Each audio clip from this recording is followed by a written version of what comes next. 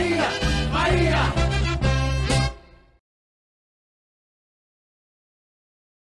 Você pode falar então sobre o análise do resultado de hoje, a importância desse, dessa vitória? É, para o Bahia lá é triunfo, né? Porque vitória é o, o, rival. Então a gente usa sempre a palavra triunfo. É, um jogo importante contra uma equipe que só tinha perdido aqui dentro de casa para o Cruzeiro é a segunda derrota dentro de casa, uma equipe que vem. É, se a gente perde o jogo hoje aqui, eles praticamente tinham encostado na zona de classificação. Né?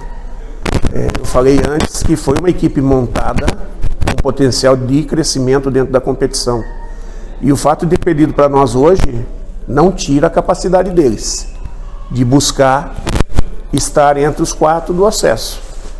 É, tem bons jogadores. Só que nós fizemos uma partida diferente das outras que a gente tem jogado fora de casa, é, com uma maturidade, uma postura é, é, de preocupação é, geral, de equilibrar a equipe, de não deixar o adversário gostar do jogo e a partir da hora que tinha a bola, tentar valorizar a posse, tentar trabalhar a bola de uma maneira mais tranquila né? e, e buscar os gols.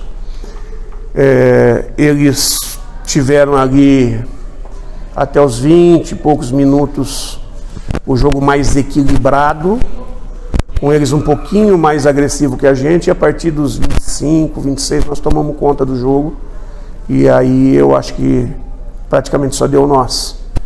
As chances que eles tiveram foi de chutes de fora da área e nós não só fizemos o gol, como tivemos várias bolas é, que atravessaram a área é, é, em condições, tivemos é, é, chute de bate-rebate dentro da área. Enfim, nós tivemos um volume ofensivo bastante interessante e que poderia, de repente, até ter feito um, um placar um pouco mais elástico. Mas eu saio feliz, eu saio feliz com o segundo triunfo nosso fora de casa é uma coisa que todo mundo fala que os times que eu monto não ganham fora de casa, né? Então, mais uma aí, mais uma para eles, né? Para esses caras que querem botar plaquinha no pé dos outros. É... Mas é isso, 25 pontos, uma pontuação bastante importante, porque essa rodada tem é, jogava. Os seis primeiros confrontavam entre si. O segundo contra o sexto, o Cruzeiro contra o Vasco é primeiro contra terceiro e o quarto contra o quinto. Então o que acontece? Se o Cruzeiro perder para o Vasco, nós encostamos três pontos no Cruzeiro. Se o Cruzeiro empatar com o Vasco, nós encostamos dois pontos, ficamos a quatro. E abrimos e abrimos para o Vasco três pontos. três pontos. Percebe? E aí o outro. E se o Cruzeiro ganha, nós abrimos do Vasco quatro pontos, do terceiro colocado. É, por outro lado, se o esporte ganha, nós vamos a oito pontos do, do Grêmio, que seria o segundo colocado com 17, é isso? Grêmio é quinto. É o quinto, exatamente, do quinto colocado. Se o esporte ganha. Se o esporte empata, nós abrimos seis. Sete. Sete do Grêmio, que é o quinto colocado.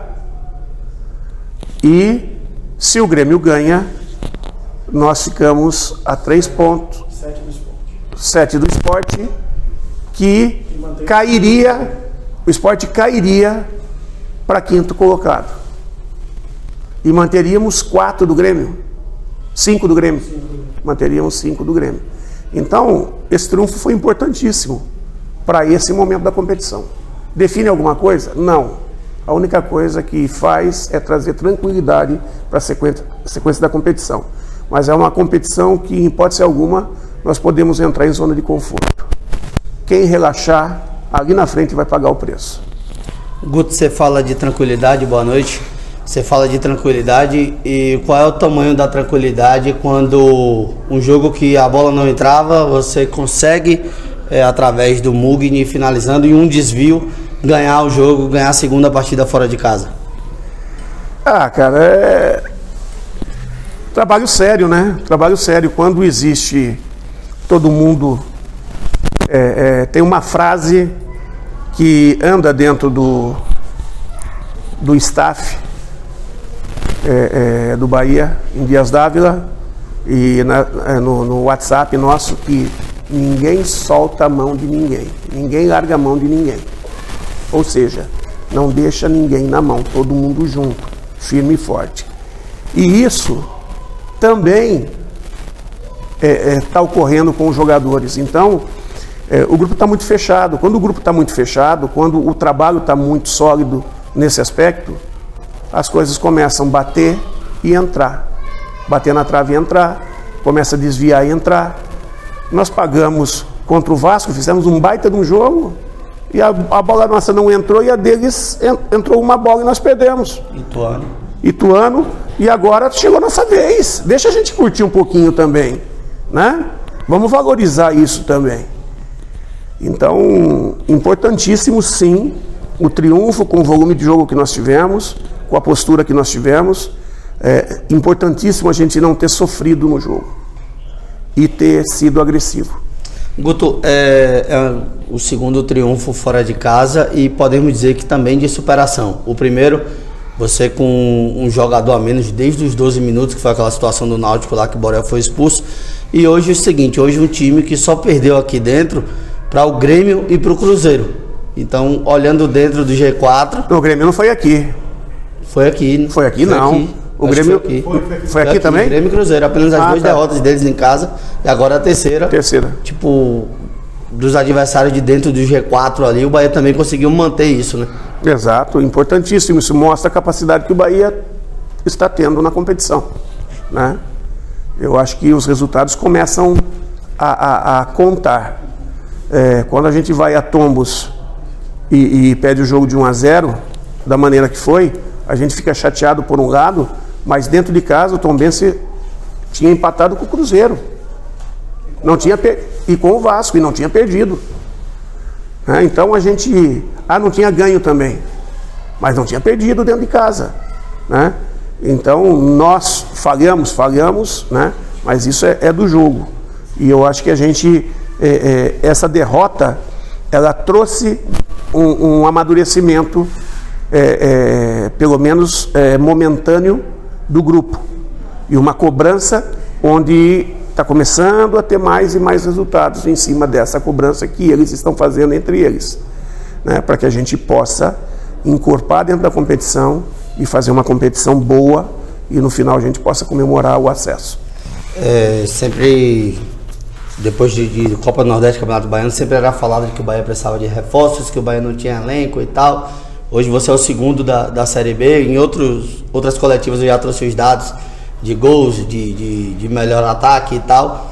É, hoje você tem que pensar não só no time que vai iniciar, como já a peça que você vai mudar no segundo tempo, quando você tem mais do que três atacantes que podem ser ali escolhidos como titular, o Rio, do, o, é, o Rodadiga, o Jacaré, o Davó, entre outros.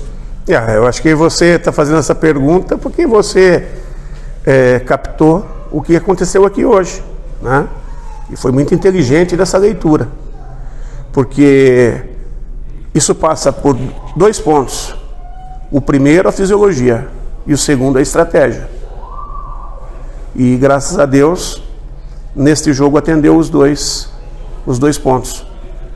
Porque atendeu a fisiologia, que o Davó é, saiu com câimbras no primeiro, no, primeiro no, no, jogo passado. E na outra vez que tinha acontecido isso, ele tinha, é, é, no jogo seguinte, acabou se lesionando. Então a gente precisava ter um carinho para não perdê-lo, mas não deixar de usá-lo, porque no segundo tempo ele seria tão ou mais importante. E foi o que aconteceu. E foi o que aconteceu. É, seguramos o jacaré que entrou bem de novo, né? É, você vê que o Mugni foi mais tempo dentro de campo, não, ter, não chegou a terminar, mas foi mais tempo. É, e Emerson fez uma partida muito, muito boa. É, a gente tinha uma dúvida sim, né, do comportamento. Ele já tinha jogado bem e já tinha sentido um pouco em outras partidas, né? Mas hoje não, hoje ele chegou e tomou conta. Esse é o Emerson que nós trouxemos. E a gente fica muito feliz com o comportamento, é, com a atitude e com o jogo que ele fez. É, o jogo passado, o Patrick, para imprensa, é, televisão, foi o melhor em campo e para nós também fez uma partida também. diferenciadíssima. Você vê os dois concorrendo um com o outro. De que maneira é, é, é nós vamos nos fortalecer? Tendo bons jogadores em cada posição, para que eles estejam sempre de tanque cheio, a gente não fique reclamando, porque ó, terça-feira nós entramos em campo de novo. E aí, quem está sem ritmo, com certeza vai recuperar de uma maneira mais lenta. Então nós vamos precisar, para ter perna, para ter intensidade, nós vamos ter que mudar de novo uma ou outra peça. O Rezende, de repente, pode até estar tá em campo, não sei, pode estar tá à disposição. Infelizmente o Didi não. O Didi vai, vai ter que empurrar um pouquinho mais, o Marco Antônio vai ter que empurrar um pouquinho mais. É, mas você vê, o jogo passado o Didi jogou demais. Jogou demais. Então, isso é plantel que fortalece os resultados, que fortalece a equipe e, e traz tranquilidade. Quando você consegue mudar, não sete, oito peças, mas você consegue mudar três, quatro peças, não muda o comportamento da equipe e o resultado vem. É, mas essa dor de cabeça aí, Guto, como arrumar um meio campo onde você ganha Emerson, você tem Patrick, possível volta de Rezende, que alguém tem que sobrar, você não vai jogar com 20. Mas uh, aí que tá. É, é, é, se todo mundo pensar no Bahia primeiro, o que menos importa é quem vai começar e quem vai terminar. O que mais importa é a equipe ganhar. E todo mundo vai ter oportunidade de estar dentro de campo em algum momento e tem que se preparar para quando estiver dentro de campo fazer o seu melhor. Eu acho que é assim que a coisa flui, é assim que a coisa funciona. Guto, fala sobre a volta do Falcão depois daquele episódio que você pediu desculpa a ele no vestiário, pediu desculpa em coletiva, mas ele no outro, nos outros jogos, talvez por estratégia também, é, você entendeu que não cabia e hoje você colocou o Falcão de volta em campo. É, os jogos que eu não coloquei, foi por questões de é, é, combinação, quem combinava com quem para aquele momento e o que o jogo pedia. É, então eu arrisquei, por exemplo, o jogo que ele não entrou, eu arrisquei com o Gregory de volante, porque a gente precisava de um meia a mais, um passe diferenciado a mais, e o Falcão é, é menos criativo do que o Gregory e é mais marcador do que o Gregory. Ele não deixa de criar, ele, ele tem um bom início né, é de jogo e, e, na intermediária de ataque o Gregory é mais criativo. Por isso que em tomos a gente optou pelo Gregory e não por ele. É, e volto a falar, a gente vai usando o que a gente tem conforme as necessidades. O Falcão entrou bem hoje no lugar do Mugni. Quase fez um gol. Né? É, só que tem um detalhe. É, se saísse o Emerson, não ia entrar o Falcão. Porque é, é, quem casaria melhor era o Miquéias. Então tem situações que é, passa muito por isso. Quem complementa quem? Quem completa quem? E isso a gente trabalha o dia a dia. A gente pensa o dia a dia para poder fazer o Bahia forte. É, não é só, ah, esse foi bem, esse foi mal, esse está bem, esse está mal. Porque muito do estar bem e estar mal passa muito porque pelo que eles estão sentindo, a confiança que eles estão, e a confiança passa muito pelo entorno dele, o que fala sobre a atuação dele, o que ele lê, o que ele ouve, o que ele assiste. E muitas vezes o cara acaba ficando inseguro porque ele recebe uma pressão externa e não sabe controlar. É, então isso tudo passa pelo amadurecimento do, do, jogador também, que tipo de atitude ele tem que ter para ele assentar. Né? E a gente tem que estar atento a tudo isso. A tudo isso. É, é para poder é, é, fazer uma equipe mais forte. É, a equipe está mais assentada também porque o Mugni, bem mais experiente, traz uma, uma condição, ele e, e o Hugo, um comando dentro de campo, né? onde consegue cobrar e assentar a equipe nos momentos mais difíceis. E isso é, é coisa que o treinador de fora não consegue fazer, mas eles dentro de campo conseguem. E é o tipo daquela coisa. É, a positividade, a confiança, ela passa muitas vezes por uma âncora. Né? É, o que, que é âncora? Às vezes é uma tatuagem que o cara tem, às vezes é um colar que ele usa, um pingente que ele usa, e às vezes é um companheiro que está dentro de campo. E nesse caso fica muito visível que a nossa equipe fica mais assentada quando o Hugo está dentro de campo. Né? E fica mais equilibrada, mais organizada. Né? Por quê? Porque eles se cobram mais. Eles se cobram mais, cobram, se cobram uma postura mais profissional né? e menos é, é, é, tipo um foco maior, né? Um foco maior. Guto, para finalizar, é, acho que não não é coisa, digamos assim, difícil de se falar, né? Mas todos os caminhos levam a Fonte Nova terça-feira para Bahia e Chapecoense. Com certeza, com certeza. E espero que a gente possa ter de novo o nosso torcedor invadindo a Fonte Nova. Eu, olha, eu sei que o torcedor às vezes reclama, pô, tá muito sofrido, mas tá gostoso. Não venha falar que não tá gostoso, porque tá gostoso. E vocês estão participando, vocês estão sendo peças fundamentais nesses triunfos. Então, invadam a nossa casa, invadam a Fonte Nova, venham nos